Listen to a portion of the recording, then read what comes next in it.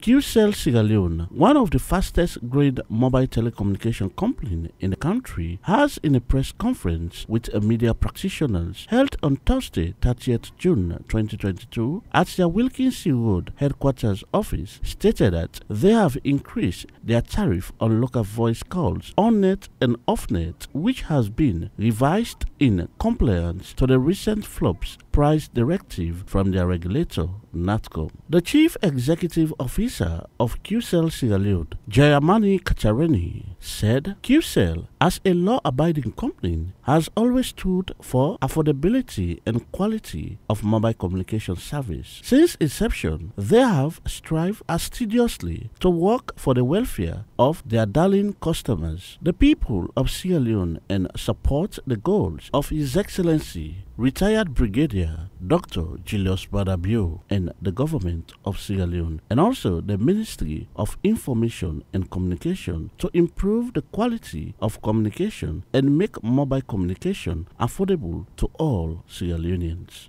The management of QCLSL wishes the general public to know our local tariffs for all voice calls on net and off net will be revised in compliance to the recent floor price directives from our regulator.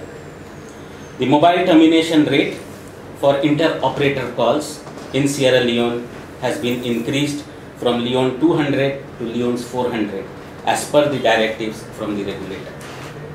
All QCell subscribers will now be charged at Leone 590 per minute QCell to QCell and QCell to other operators.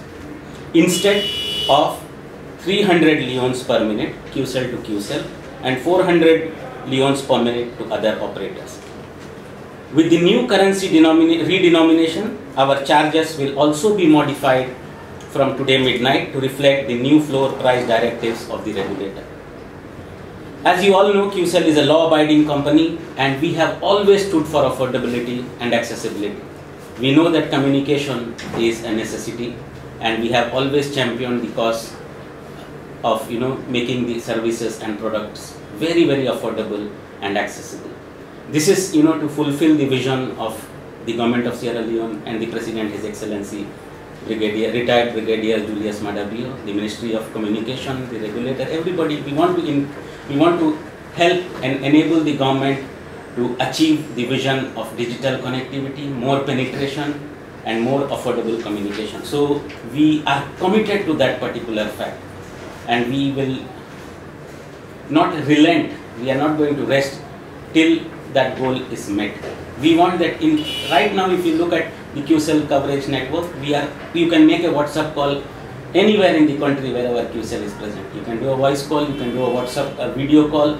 So you can understand that whatever technology I am saying that because some where some people you know some technologies are not deployed across the country for QCell we treat, we do not discriminate.